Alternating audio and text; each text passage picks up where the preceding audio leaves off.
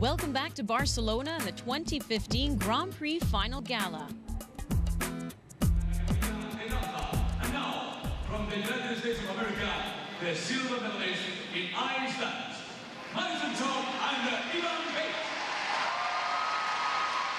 So Chock and Bates, haunted by Beyonce, and I don't know what to think when I see Fifty Shades of Grey on the screen as well. Yes, you do. I've got to give a shout out to that Spanish announcer. He could make anything sound exciting. Absolutely fabulous.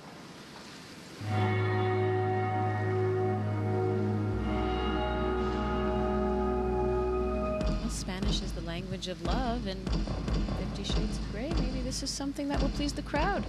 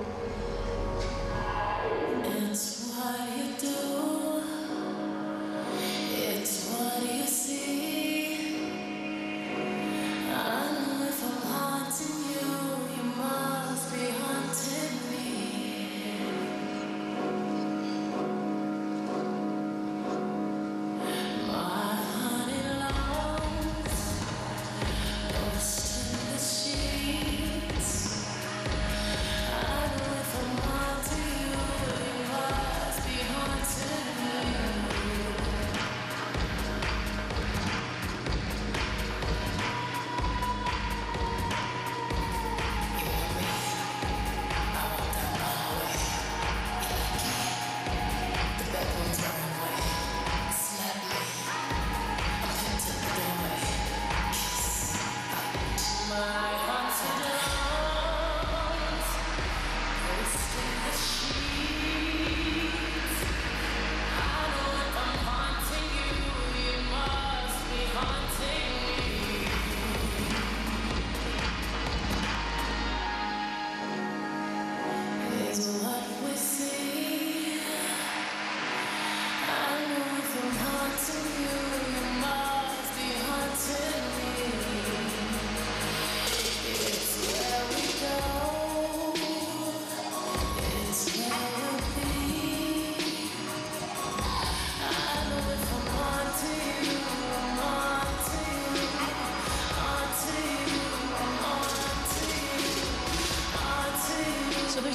sides to everything, and I feel ice dance and competition is that innocent love affair.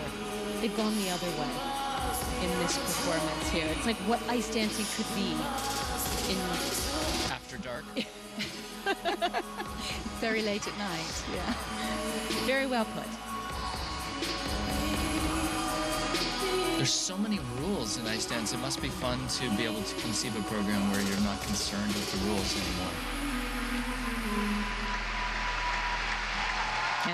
Sizzled.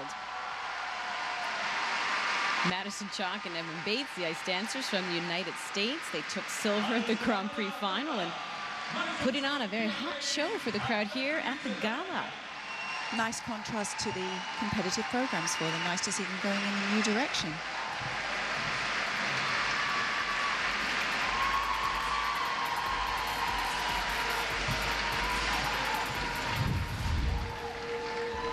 Definitely shows a different side of their personalities.